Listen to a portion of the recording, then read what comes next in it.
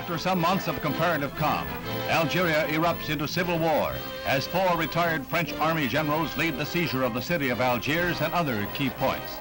They are rightists who want the country to remain French. They have the aid of the units of the French Foreign Legion and the army. Algiers appears as calm as this, but there's an undercurrent of deep tension.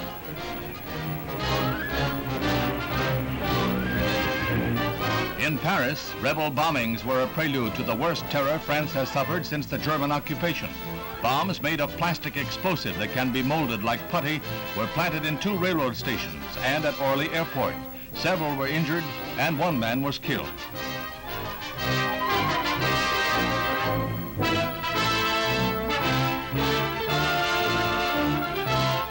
During a paratroop invasion by the rebels from Algeria, the airports were closed and then put under heavy guard, as was all Paris.